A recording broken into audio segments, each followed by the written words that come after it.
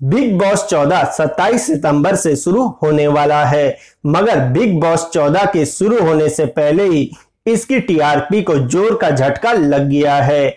जी हाँ, big boss 14 की TRP को झटका आईपीएल लगाने वाला है।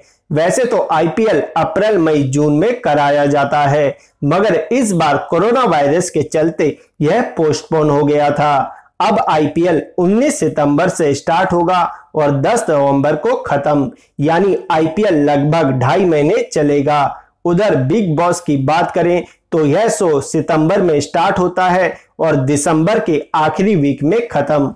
वहीं आईपीएल के इस सीज़न में बिग बॉस भी स्टार्ट होगा, जिससे बिग बॉस 14 की टीआरपी गिरने वाली है।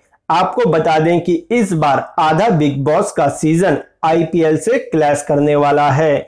वहीं बिग बॉस के स्टार्ट होने से पहले ही इसके फ्लॉप होने के चांसेस बढ़ गए हैं।